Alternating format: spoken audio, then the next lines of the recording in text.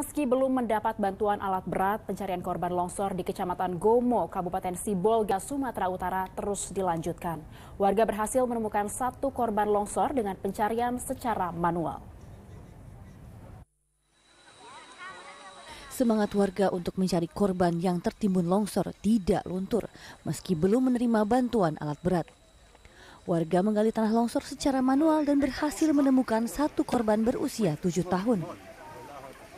Sebelumnya, longsor terjadi di perbukitan Gomo, Desa Sukamaju, Moholi, Nia Selatan, dan menimpa tiga rumah. Tujuh korban pun tertimbun longsor. Tim Basarnas beserta aparat desa di Kecamatan Gomo ini bekerja sama dalam pencarian korban. Cuaca kurang mendukung karena hujan sehingga menghambat pencarian. Juga kita masih menunggu alat berat yang bisa membantu dalam proses evakuasi. Akibat cuaca buruk, pencarian sempat dihentikan sementara waktu. Dari tujuh korban, tiga di antaranya sudah berhasil ditemukan. Dohar Flankin melaporkan dari Gomo, Nia Selatan.